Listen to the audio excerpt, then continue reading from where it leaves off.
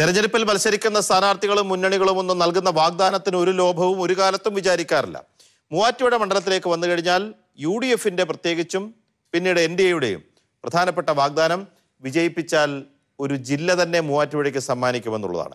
വിജയിച്ച സമയത്തൊന്നും ചെയ്യാതെ ഇപ്പോൾ അവകാശവാദവുമായി വരുന്നതിൽ അർത്ഥമില്ലെന്ന് എൽ ഡി എഫ് തിരിച്ചടിക്കുന്നു. പോരാട്ടം മുറുകുന്ന മൂവാറ്റുപുഴയിലെ കാഴ്ചയിലേക്ക്.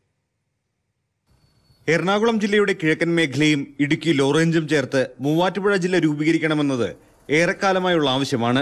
അവസരം ലഭിച്ചാൽ ജില്ല യാഥാർത്ഥ്യമാക്കുമെന്ന് യു ഡി എഫ് സ്ഥാനാർത്ഥി മാത്യു കുഴൽനാടൻ ഓരോ പ്രസംഗത്തിലും ഊന്നി പറയുന്നു ജോസഫ് വാഴയ്ക്കും ഈ മണ്ഡലത്തെ പ്രതികരിക്കുമ്പോൾ ഉയർത്തിക്കൊണ്ടുവന്ന ഒരാവശ്യവും മുന്നോട്ട് കൊണ്ടുപോയ ഒരു കാര്യവുമാണ് തീർച്ചയായിട്ടും അതിന്റെ ബാക്കി എന്ന നിലയിൽ ചെയ്യാവുന്ന എല്ലാ പരിശ്രമവും അതിന് എന്റെ ഭാഗത്തു നിന്നുണ്ടാകും. എറണാകുളത്തെ വികസനം കൊച്ചിയിൽ ഒതുങ്ങുന്നുവെന്നും ജില്ലയുടെ കിഴക്കൻ മേഖല വികസിക്കാൻ ജില്ല അത്യാവശ്യമെന്നും എൻ ഡി എ സ്ഥാനാർത്ഥി ജിജു ജോസഫ്. മൂവാറ്റുപുഴയുടെ ഏറ്റവും അറ്റത്ത് കിടക്കുന്ന ഈ മേഖലയിൽ ഒരു വികസനം ഉണ്ടാവുള്ളൂ.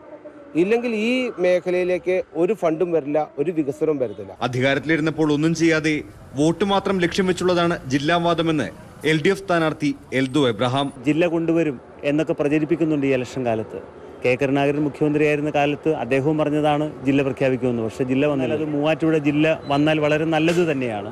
വ്യക്തിപരമായി ഒരു ജില്ല വരണമെന്ന് ആഗ്രഹമുണ്ട്. ആരോപണ പ്രത്യാരോപണങ്ങൾ മുറുകുമ്പോൾ തൊണ്ണൂറ്റഞ്ചിൽ doctor D Babu Paul committee ശുപാർശ ചെയ്ത ജില്ല ഇനിയും കടലാസിലൊതുങ്ങുമോ എന്ന ആശങ്കയിലാണ് മൂവാറ്റുപുഴക്കാർ.